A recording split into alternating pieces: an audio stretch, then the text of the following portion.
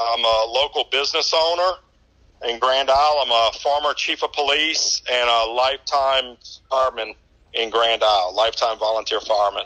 Oh, right now I'm just as I'm standing here. Um, I'm looking at probably you know 75 to 80 percent devastation around just a, a, a random you know intact building.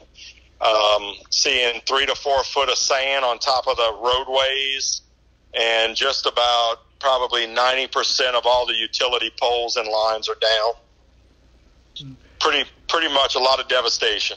Um, I've been doing this. Uh, fortunately, I've been blessed to be part of a, a good group of guys that we stay behind and uh, safe houses and whatnot for the storms.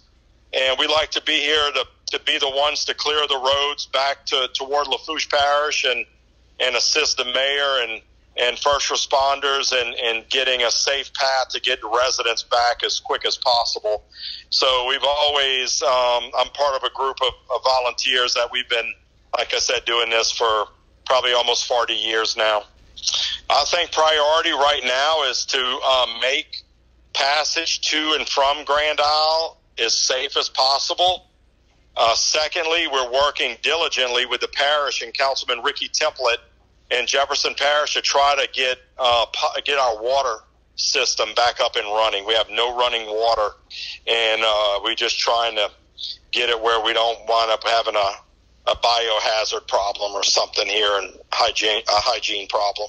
Uh, t- simple things like uh, hygiene, toothpaste, shampoo, towels, uh, socks, uh, things like that, or you know, deli meats or sandwich materials, anything simple that we can serve or, or feed first responders with, um, with like a quick meal to, to come and go. But, you know, the simple things of a, of a, uh, just a towel and bottled water or gallon water is, uh, is a luxury right now.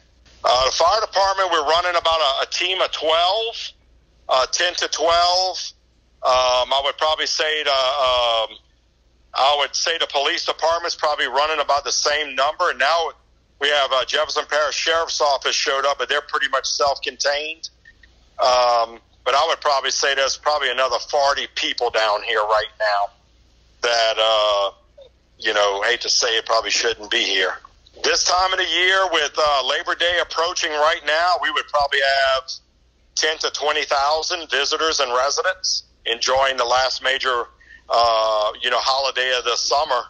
Uh, that's what we would be. That's what we would be doing right now on a win, a Wednesday before Labor Day. All of our little businesses and uh, and stuff, we would be prepared for our our big last last holiday. Um, I feel good. I feel like we've accomplished a good bit, um, getting a, a single pathway open at least back to Lafourche Parish. Um, I, I feel good that I, we've assisted, you know, people uh, that had to be medevaced and evacuated post uh, storm. I feel good about that. That we we were here to assist and provide those services for people that that you know uh, against better judgment stayed behind. Uh, the fire department, uh, Jefferson Parish built Grand Isle Volunteer Fire Department after Katrina, a very, very uh, well fortified safe house. It's their working everyday fire department but it was designed and built to withstand um, events like we went through Sunday. Um, if you walk inside their department, you don't even hear the wind blow or anything. When you walk out, of course, you know, you experience 185, 190 mile an hour winds. But uh, Jefferson Parish did a great job along with the fire department and designed a great building for this.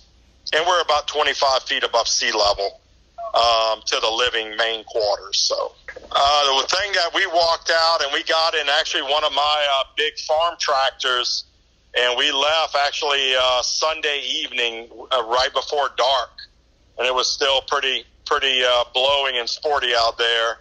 I was just astounded. I was shocked by the amount of devastation that this storm had.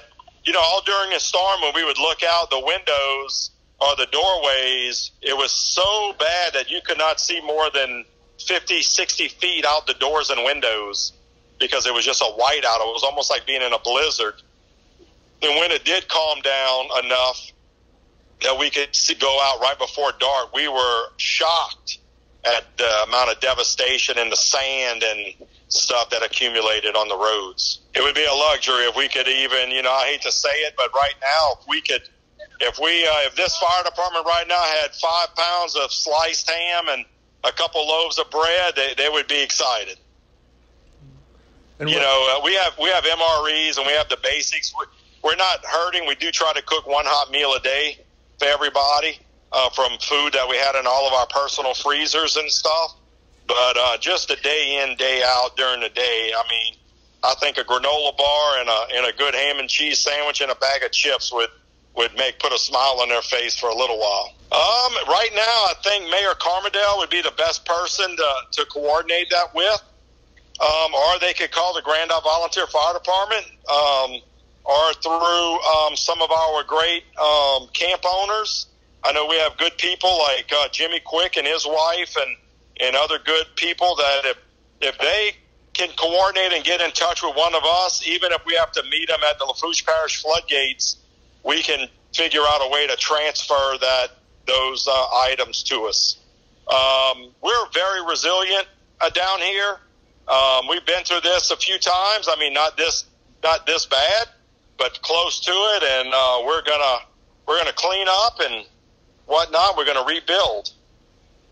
I mean, it's it's just hard to beat this place. We got the best fishing in the world, and and it's and it's a great place to come. Well, we uh, you know we plan ahead and we we assess the risk and and we we try to do what we think's right for our community and and that's that's what we do. You know, and I'm fortunate, like I said, to be part of a good team of guys that that I'm able to feel safe with, and we're confident and and uh, to get the job done. You know, so um, I'm glad, to, you know, I'm fortunate that the good Lord lets me donate my time like that, get back to my, my town and my community.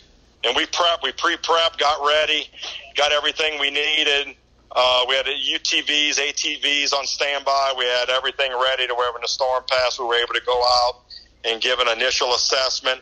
Uh, we called back to the mayor and, and Jefferson Parish Council. We let them know what's, what we're seeing on the ground, and then from that point, they formulate and execute their their recovery plans, you know, to get in. So, and everything worked well.